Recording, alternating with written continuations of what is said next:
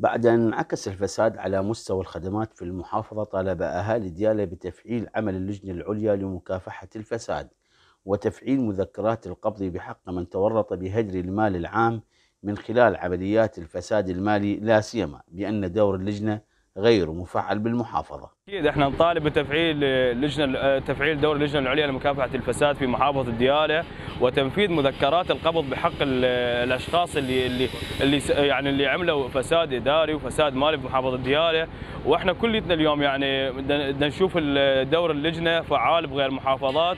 بس للاسف الشديد بدياله لحد الآن ما لها أي دور إحنا يعني هاي مطالبتنا تأتي من من الحرص على على وضع محافظتنا وعلى على المشاكل اللي بيها. لذلك إحنا نأيد هاي المطالبة ونشد عليها ونطالب يعني بتفعيل دور اللجنة بشكل فعال وقوي من أجل يعني محاربة الفساد والمفسدين الموجودين بالمحافظة. الأهالي الذي التقتهم عدسة التغيير اعتبروا ملف الفساد أشد خطورة من ملف الإرهاب.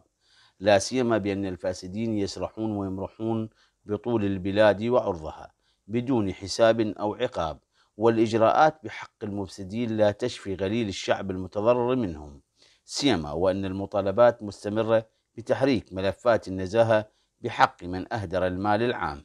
اليوم ملف الفساد يعني هو الأشد خطورة من ملف الإرهاب، لا سيما أن الفاسدين اليوم يسرحون ويمرحون في عرض البلاد وطولها دون حساب أو عقاب، ولهذا نجد أن هناك إجراءات مخففة خاصة إذا هناك ملفات محركة ضد هؤلاء الفاسدين، نجد أن هناك عقوبات مخففة جدا يعني لا يمكن أن تهز أركان الفاسدين.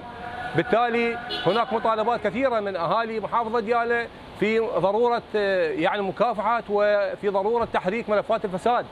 وتبقى مكافحة الفساد في العراق تصريحات رنانة وإجراءات هزيلة ويرى مراقبون بأنها مجرد محاولات لتبييض الوجوه بعد سنوات من الإهمال وغياب الإجراءات الحقيقية لمحاسبة الفاسدين.